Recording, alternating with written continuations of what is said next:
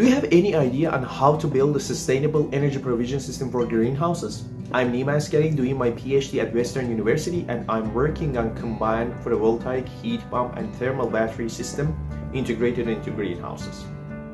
Let's start our story with conventional greenhouses.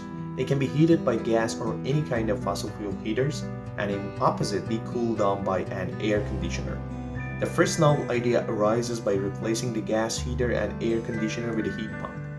The heat pump can not only fulfill the roles of both heater and air conditioner but also operates without burning fossil fuel. It actually requires electricity.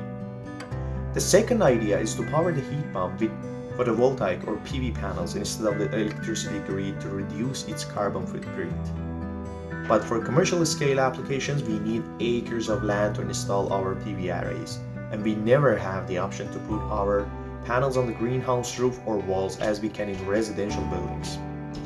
The third and most important idea is to utilize a specific type of PV panels named semi-transparent photovoltaics.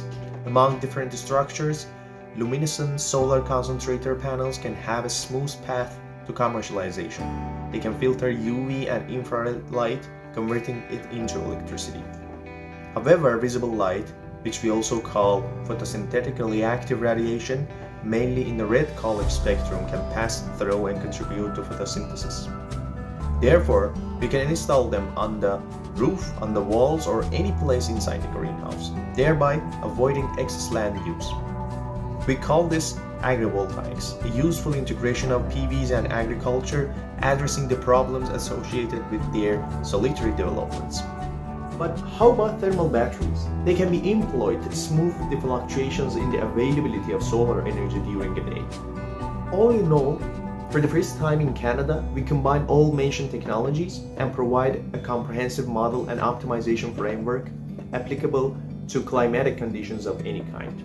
The results of this study offer a better understanding to farmers about retrofitting the conventional greenhouses with novel sustainable alternatives.